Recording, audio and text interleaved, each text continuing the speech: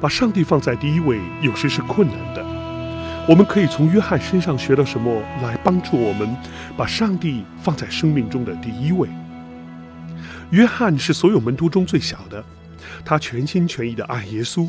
其他的门徒在耶稣被捕后都散去了，约翰在整个考验中一直陪伴着耶稣。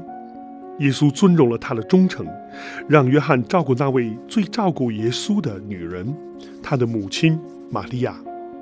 但是当约翰年轻的时候，他报复心强，脾气暴躁，他很难同情那些拒绝耶稣的人。有一次，他建议耶稣说，应该从天上降火下来，消灭那些弃绝耶稣的撒玛利亚人。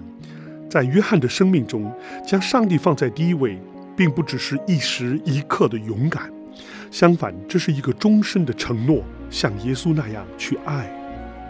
在约翰看来，把上帝放在第一位，就是把他的脾气作为贵重的供物交给耶稣，而在耶稣脚下献上自我。使徒约翰把所有的欲望都交给了耶稣。在耶稣回到天堂后，约翰一直保持信实，直到他在大约七十年后去世。他写给各教会的信，提供了关于他转变的最深刻的见解。他说：“亲爱的弟兄啊，我们应当彼此相爱，因为爱是从上帝来的。”他又说：“不要爱世界和世界上的事。人若爱世界，爱父的心就不在他里面了。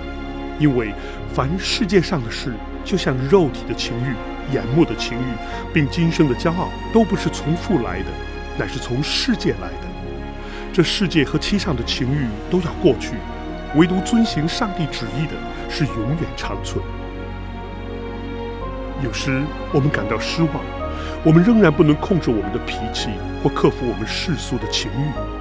但是约翰在一生中经历了深刻的转变，他把上帝放在第一位，在他生命中每一天都如此。